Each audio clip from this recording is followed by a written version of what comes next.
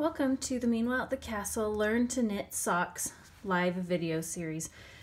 If you are watching this video and wondering what happened to the first one that we that we recorded live, well, I lost it.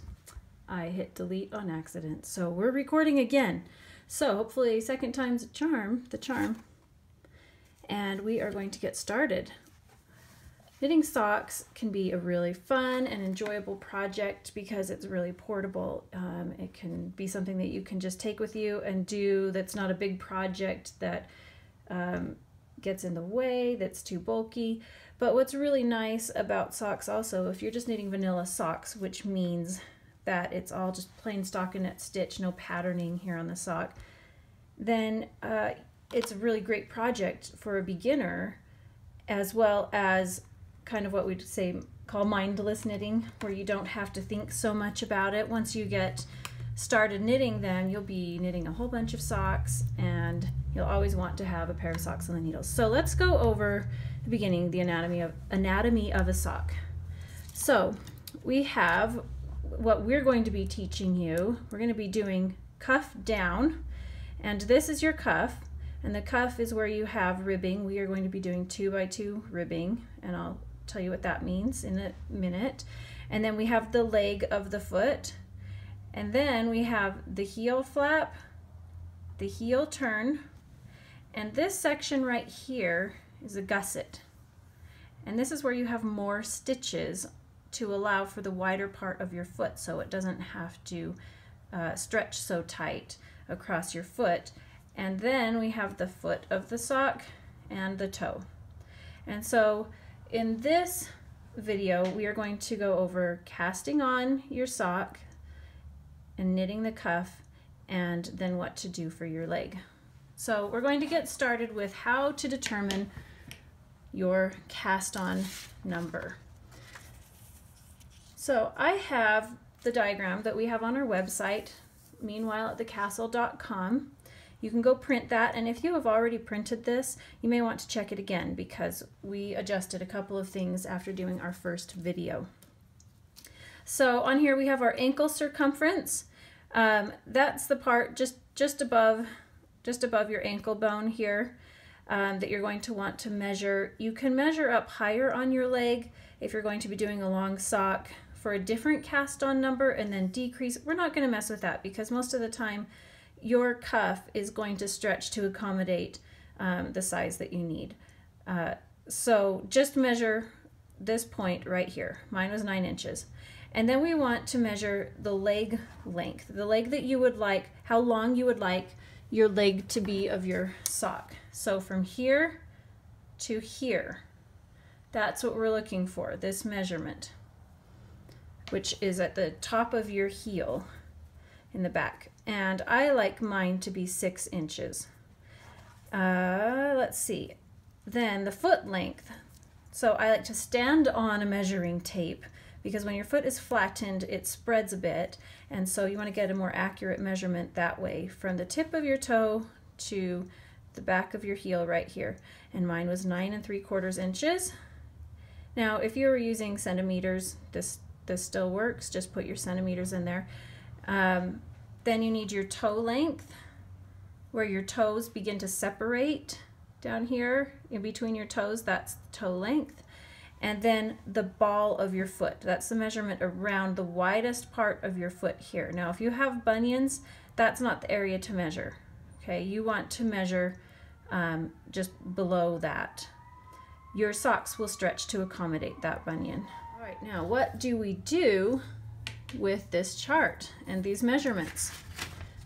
What we're going to do is I also have on our website this chart here or this uh, formula that you can print out or just look at to help you determine what number you're going to cast on. Now we talked about um, earlier when we told you about this series that you're going to want to um, get some fingering weight yarn some fingering weight sock yarn. Um, try start with 2.25 millimeter needles and see um, if you can get eight stitches per inch. That's just a really good average stitch, stitches per inch for socks. Um, it doesn't have to be that, but we're just recommending that to begin. And then if you don't get that with a 2.25 millimeter, go up a size or down a needle size until you get that. So uh, my needle size is 2.25 millimeter that I use. All right, so we need to start right here with our ankle measurement. My ankle measurement was nine inches.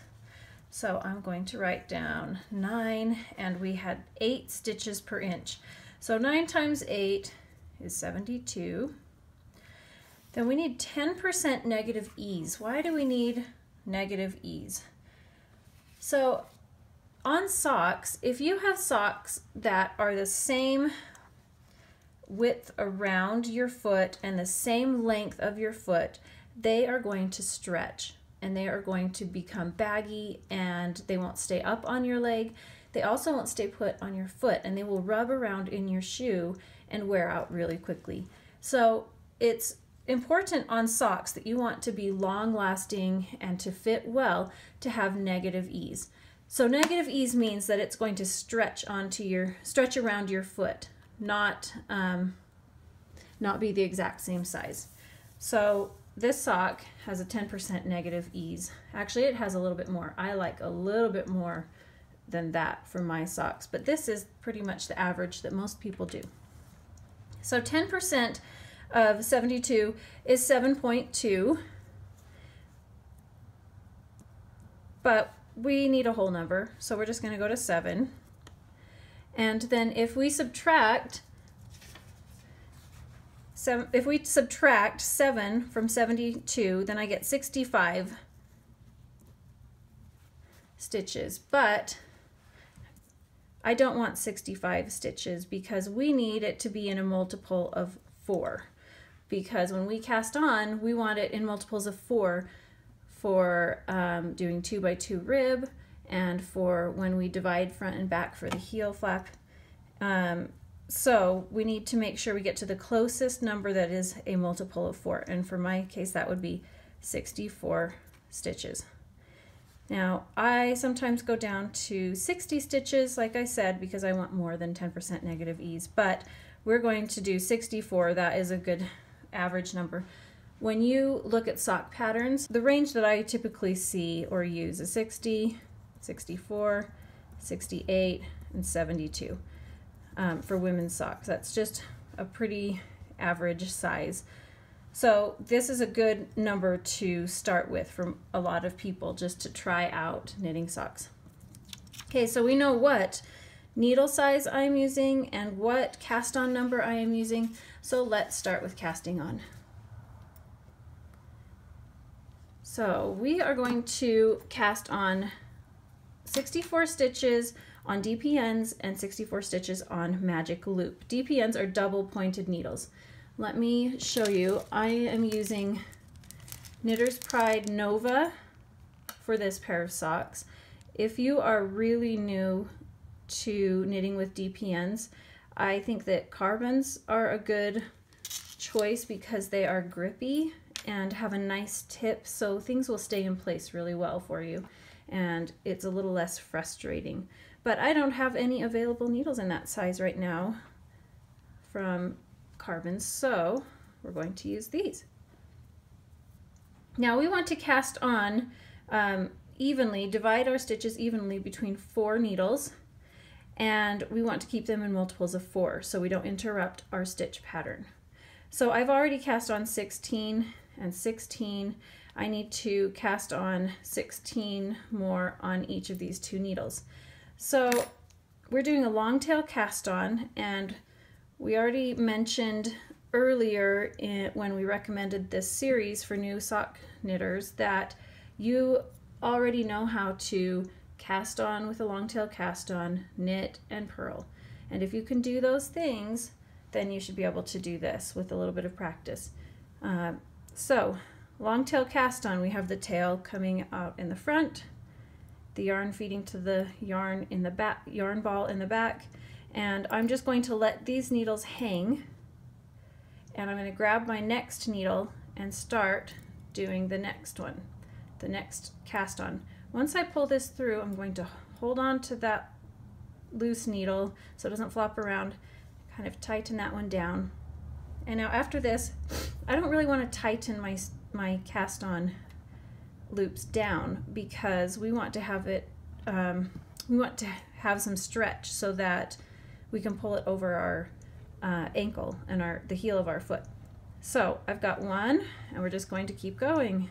Two, not too tight, three, oh, four, five, six, seven, eight, nine, ten, eleven, twelve, thirteen, fourteen, fifteen, and 16. Okay, there's some good space between these stitches, so I know that these are going to stretch out enough. Now we're going to do the next one, so you can see that again. We don't really have to worry about these needles. They can just hang there. Grab the next needle. This part is a fiddly part, but that's okay. Get that first stitch tightened down on there and then keep going. One,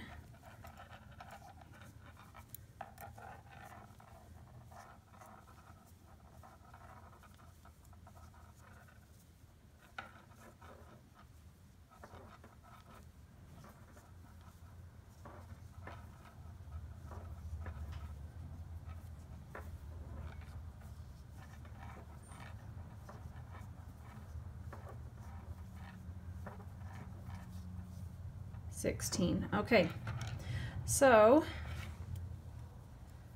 we now have 34 stitches on our needles.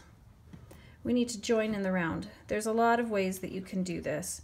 There's a lot of tricks where you slip one stitch over from one needle and one stitch over from the other, knit, or where you cast on another one, knit two together. We're not going to do any of that. This is just beginning, this is just get started, learn to knit socks. We don't need to do anything fancy. And in the end, I use the tail just to join that, uh, make that join look a little bit smoother. All right, so now we want to make sure that our stitches are all laying the same direction that I create kind of this circle here, or this square here, and have all of the stitches, the cast on stitches, laying the same direction. They're all on the inside here. We need our working yarn to be on this back needle. And then I'm going to make sure my stitches stay laying the same. Let's get this straight. Stitches stay laying the same. Pick up my needle now that I need to start knitting on and I'm going to simply start knitting. But I'm going to take the tail and the working yarn and for the first two stitches I'm going to knit them together. I'm going to hold them together. I'm going to knit two and then I'm going to drop the tail. We don't need that tail in there anymore. That's, that's holding it secure. And now I'm going to bring my yarn to the front and I'm going to purl two.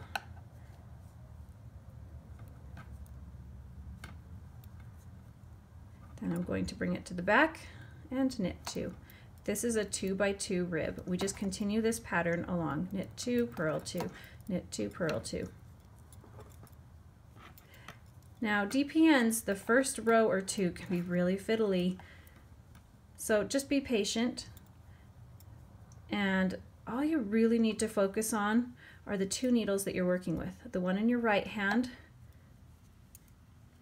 that you are knitting on to and the one on your left hand that you're knitting off of. That's all you need to worry about. The other ones you can just let them hang and let them flop, but they do get in the way, they get fiddly. So, oh, and I just dropped one stitch. That's okay. They get fiddly, but after you've done a couple of rows, it's much easier. And I have one stitch off.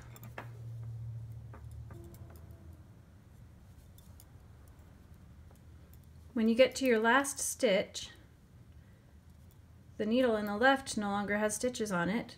It becomes your working needle.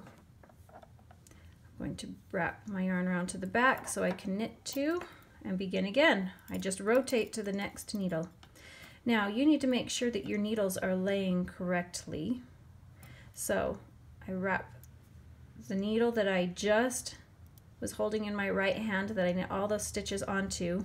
I put that in the front and my needle that has the stitches I'm working on now in the back. And I start again. Knit two, purl two. Now, sometimes this yarn, see how it wants to tangle around all of these needles. Just watch that and make sure that you don't catch it around any needle when you go to uh, knit. Sometimes that happens and you end up with this really strange loop. So just watch that closely. Uh, the other thing is when you are casting on, if you have a different number than 64 that you're casting on, you just want to make sure that on each needle you keep multiples of four, that you don't break it up where you have um, an odd number of needle of stitches or um, one that's just a multiple of two instead of four. Well, like I don't want to have um, 14 stitches on one needle because I will end with knit stitches, meaning the next needle will need to start on purl, and that's tricky. It's tricky to start a new needle with purl. Um, you get laddering and it's fussy. It's just really hard to do. So I would readjust your stitches. They don't have to be the same number on each needle when you're casting on. So go ahead and feel free to adjust. So I'm going to just work my way around this first row and after the first, I think actually the first two rows, everything just gets a lot more simple. So I put my yarn to the back, grab the next needle, slide the stitches to the tip, make sure that my previous needle is now in front and out of the way and that my needle that has the stitches I'm working on now is behind it. Ah, there we go. And start again.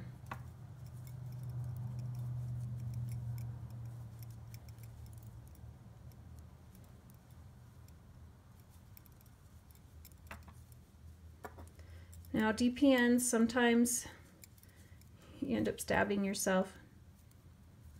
Just be gentle, be patient.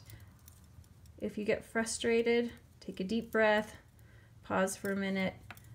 You don't want to stop before you've even begun. If you get through this part, I promise it gets easier.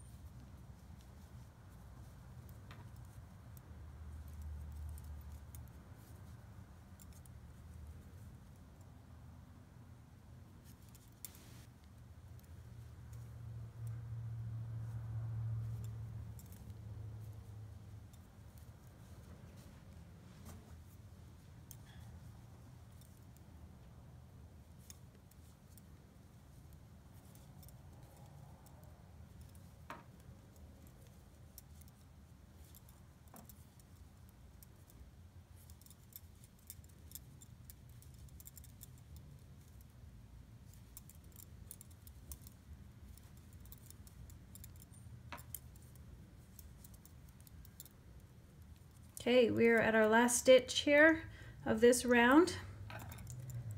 We finished one row. Got my tail end here. I need to trim. I'm gonna have this hang down in the center here.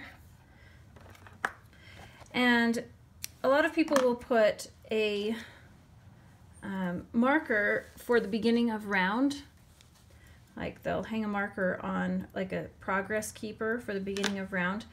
I don't need to do that. I don't feel like I need to do that because we have my tail end between these two needles.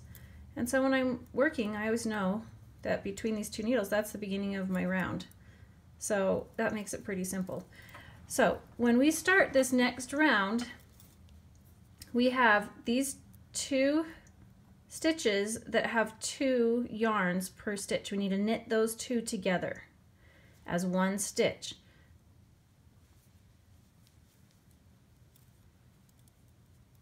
And the next one, those two together as one stitch and continue on. Now, you'll see that right here, when we just joined in, it's nice and tight. I don't even have to worry about it being gappy or anything. So there's, I mean, there's lots of tricks, like I said, that you can do.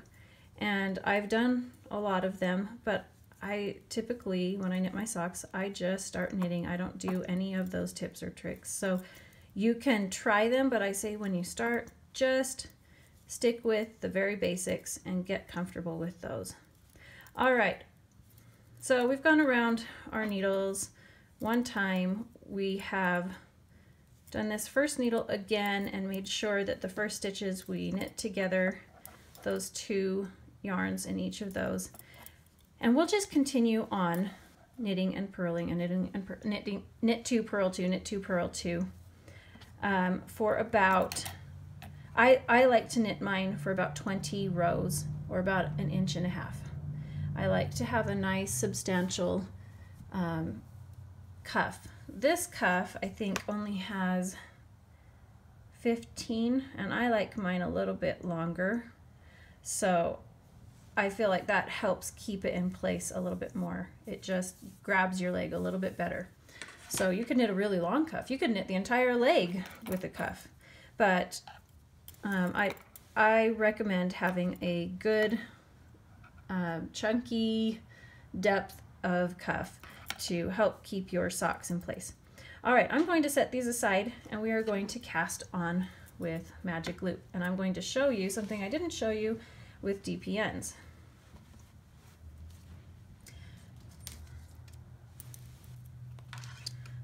All right.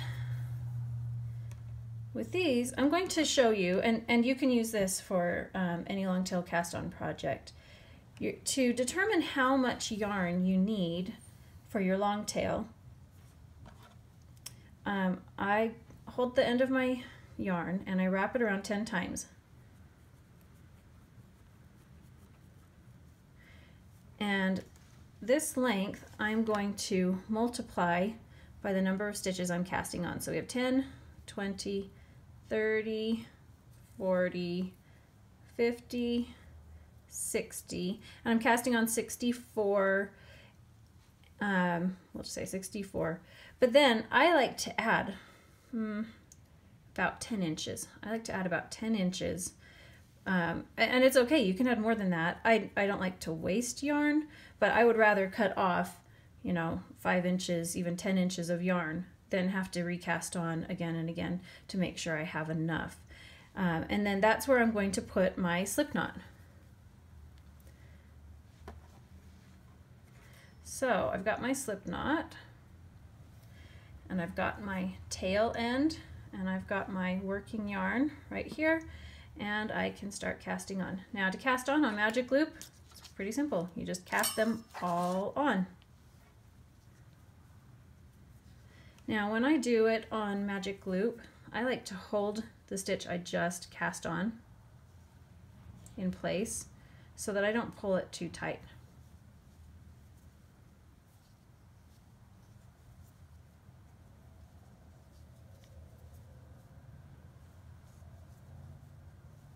see a lot of people when they cast on how fast they are and I'm not very fast. I've got arthritis and um, it's just hard on my hands to cast on. So I have to readjust each time, most of the time. Sometimes I can get quite a few in a row, but I just have to keep readjusting. My hands don't grip like that really well. So sorry if it is painful to watch me cast on. I will fast forward this process.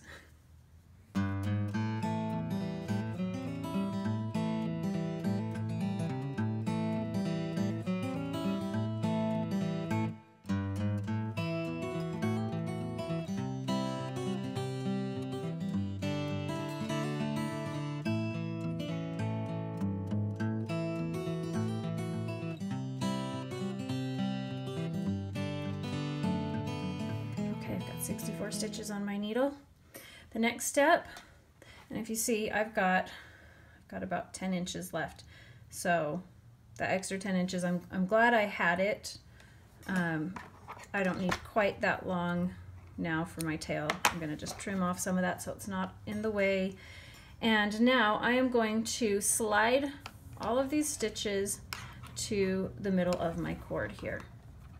And then I'm going to find the middle of my stitches. Um, once again, I want it to be in multiples of four. So if you have um, if you have 68 stitches, you don't want to count across um, 34 stitches. You'll want 32 stitches on one needle and you'll want the rest on the other. Or um, you'll, you'll see what I mean here. So let me count. Two, four, six,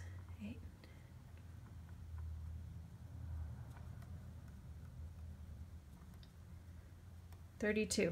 Okay, I've got the center of my stitches. I'm going to keep that in place. I'm going to bend my needle and I'm going to pull it through the stitches.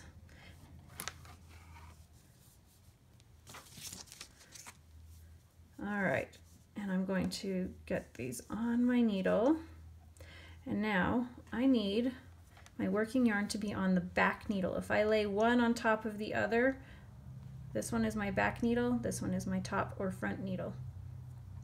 I want to make sure that the bottom cast on edge of my stitches are all aligned. They're all along the bottom here. And once I have that, I'm going to pull my working needle out, which is the back needle. I'm going to pull that out. I'm going to separate this here. Um, I'm going to pull my working yarn on top here and I'm going to just simply knit two, purl two, knit two, purl two. I could use this tail end and also do two stitches, but I don't use that for some reason in Magic Loop. Knit two, purl two. I'm just trying to help keep my stitches in place so they don't twist all around, which is why I'm holding it with my left hand here.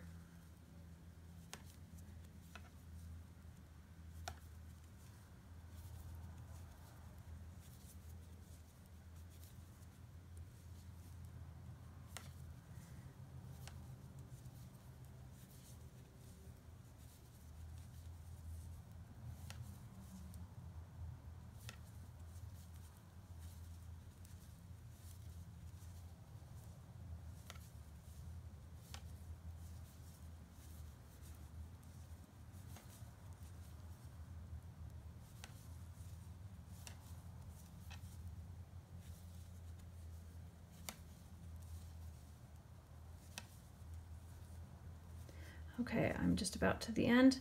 I'm ending with purl two. You want to end with purl two. If you end with knit two, then on the next needle you'll have to begin by purling and that stretches out your stitches a little bit more. You can get laddering. It's just much easier to end with purl two. So make sure your stitch count will end with purl two. And if it doesn't, then you want to readjust stitches. Okay, I'm going to pull this back needle. Here I'm going to flip it around and then I'm going to check my stitches and make sure once again that my cast on edge is all still aligned along the bottom. Am I going the same direction here? Let's check this here. Yes, okay. Okay, so I've got this tail end that's giving me grief. Let me see. What did I do here?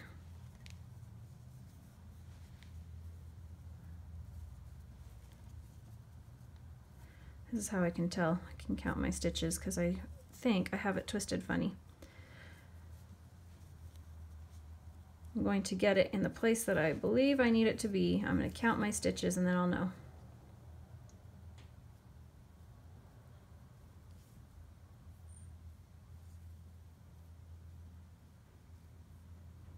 Yep, I've got that in the right spot. Okay, so we're going to just do this again one more time. Pull the back needle out, put it under my working yarn so I can begin knitting. If I start with purling, I don't want it under that working yarn.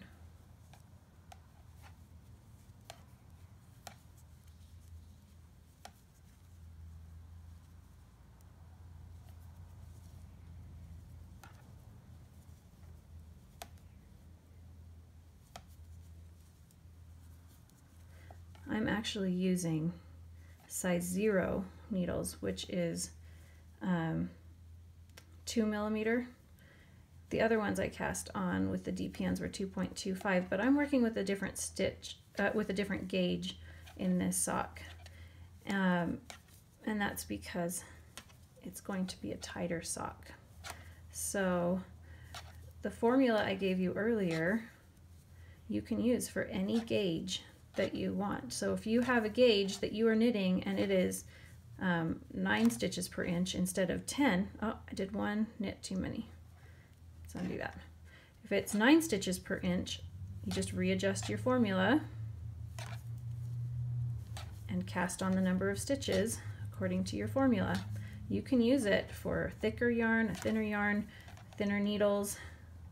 That's the great thing with knitting is that it is adjustable you can get the perfect fit. Okay, oh, I'm splitting. There we go. Okay, I went around all the way around one time. I'm going to bring my working needle to the back again, make sure my stitches are straight. And now here's the thing that will sometimes irritate people.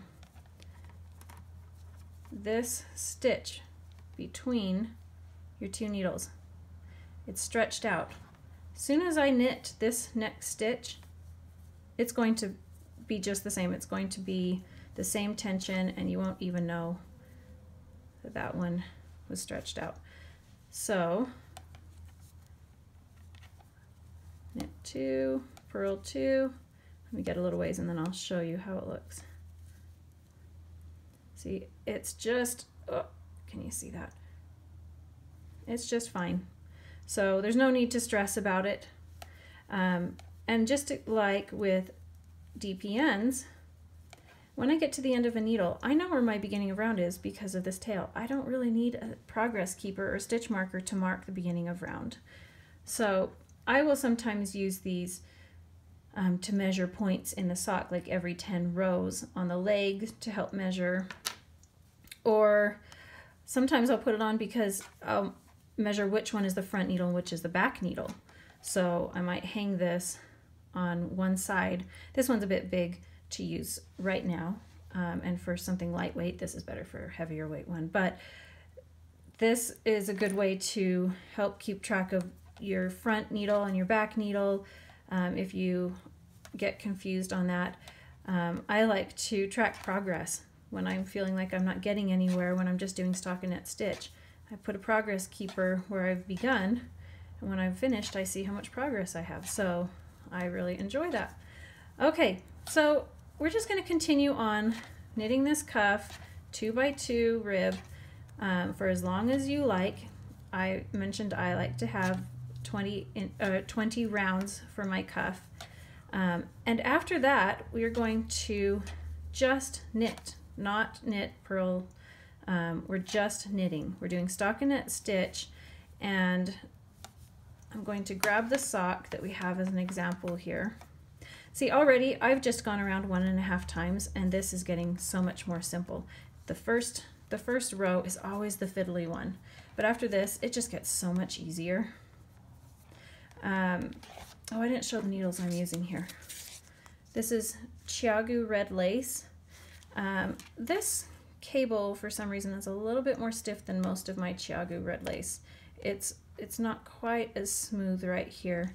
Um, the great thing is that I can take these back and exchange them at my local yarn shop that they will do that for me. So uh, this is the only pair I've ever had any issue with and I like using these because the cable doesn't want to flip all over. Um, I I'll use other needles and I feel like the cable is always like a spring and it's just getting in my way. So I like these for knitting socks. Uh, so this next part that we're going to do after we've finished our cuff, for however many rounds you want, um, then we're just going to knit. And that will give you this stockinette stitch here. Um, we talked about the length of the leg that you want. And you're going to measure from the cuff down to where your needles are to get that measurement. And then you want to add about an inch, especially if you have one that's longer, like six inches.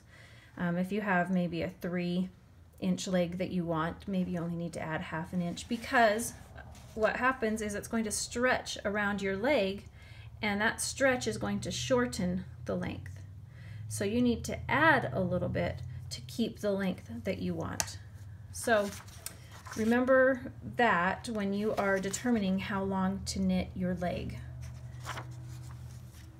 So a couple of questions that we've had are which do I you prefer? Do you prefer DPNs or magic loop for knitting socks for a beginner? And honestly, I feel like this is personal preference. Um, I feel like DPNs are really fiddly for the first row, just almost, you know, really quite frustrating for the first row. And after that, I really enjoy it because it seems like you make a lot of progress because you're just knitting this many stitches and you're like, "Ooh, I finished a needle. Ooh, I finished a needle." You know, it's it's nice and satisfying that way. Um, but it can be fiddly for the first little bit. Um, I like DPNs, especially for when you are doing the heel flap and the heel turn and gusset. I feel like it's uh, it really helps spread the stitches out and it, it, just makes it easy to work on DPNs, that portion of it. Um, but it can be frustrating to begin. So if you can can be patient and get through that beginning part, just a little bit of the beginning part, um, I really enjoy working with these. The other thing is though, this needle sometimes wants to fall and get lost. I've lost several in my car, never to be found again. So that's one thing to keep in mind. But I, I do like DPNs and I feel like they're a good change when my hands get tired. I usually knit with Magic Loop. Um, just, I don't know, I just gravitate towards that one, I, probably because it's not so fiddly for me. But people will get frustrated with the cable and the join depending on what type of needle that you are using and getting confused as to which needle do I pull out and what do I do with it when I get started like under the yarn or over the yarn. But really it's it's the same thing as with DPNs once you get the hang of it for the first couple of rounds it's just really a lot more simple. Yeah you have to adjust your stitches by pulling out the back loop and, and adjust with the cable. But with DPNs I'm I'm having to adjust a lot as well so I really feel like it's personal preference. Start with the one that you are used to knitting on and then try the other one and see what you think. I started with DPNs. I really enjoyed DPNs and then I switched to Magic Loop and it's almost like I forgot DPNs existed until the last few months where I've picked them up again. Um, so I want to make sure I've answered all of the questions that we had previously. I think so. So um, Emily, um, she is on Instagram as Salt City Knits and on Ravelry. She will be covering the Magic Loop or, or the DPN um, series now from here on out. And I will be covering the, what did I say? DPNs. Emily will be covering the DPNs. I will be covering the Magic Loop. Um, would love if you share your progress on Instagram or on social media with the hashtag MyFirstSocksKal and go join in our Ravelry group where you can chatter in the thread there. Tell us how you're doing, um, ask questions, but just share what you're doing. We just love to hear from you and we love to uh, help inspire knitters to be sock knitters because we find it so satisfying. So thank you so much for joining us and I will see you for Magic Loop for part two next time on March 4th at 7 p.m. Mountain Standard Time here on YouTube. Thank you.